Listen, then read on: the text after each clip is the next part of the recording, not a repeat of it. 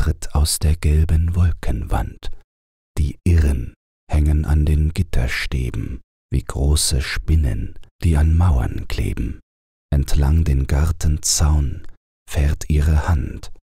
In offenen Sälen sieht man Tänzer schweben. Der Ball der Irren ist es. Plötzlich schreit der Wahnsinn auf. Das Brüllen pflanzt sich weit, dass alle Mauern von dem Lärme beben. Mit dem er eben über Hume gesprochen, den Arzt ergreift ein Irrer mit Gewalt.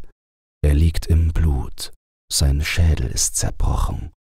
Der Haufe Irrer schaut vergnügt, doch bald enthuschen sie, da fern die Peitsche knallt, den Mäusen gleich, die in die Erde krochen.